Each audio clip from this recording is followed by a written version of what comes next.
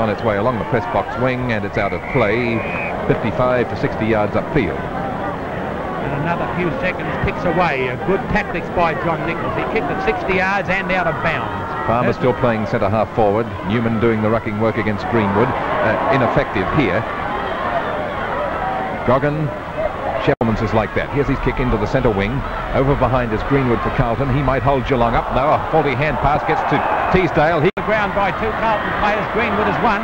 A goal is a silly thing. Play on, says the umpire. He'll have to ball this up. Collis kicked the ball straight into the hands of the Geelong player Andrews. He ruled throw. Bad luck for Teasdale and very bad luck for Geelong because then through that hand pass they were clear.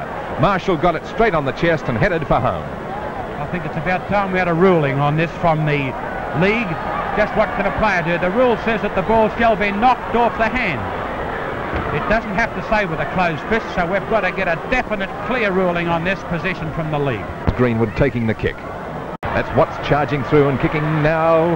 Geelong into attack. The ball is under the forward line. Two Carlton players on their own. One is Collis.